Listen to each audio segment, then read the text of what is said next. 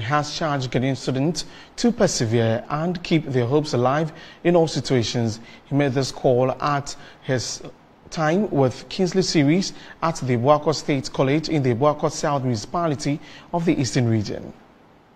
The time with Kingsley Series under the auspices of the Registrar of the Scholarship Secretariat, Kingsley Agyemang made its maiden stop at the Abuakwa State College in the Abuakwa South Municipality of the Eastern Region.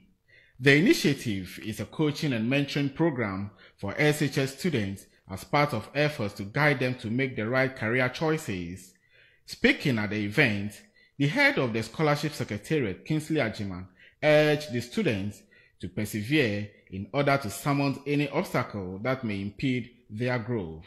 The mind is the central point of everything.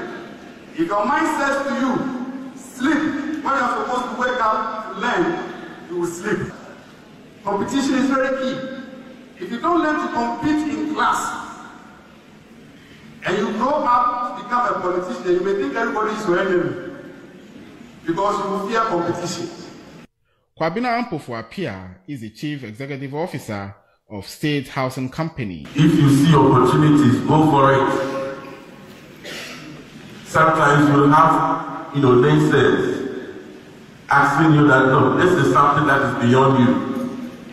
Sometimes they'll even tell you it is beyond human possibilities. The initiators have vowed to take the time with Kingsley series to all SHS schools in the Abuakwa South municipality before the end of the academic year.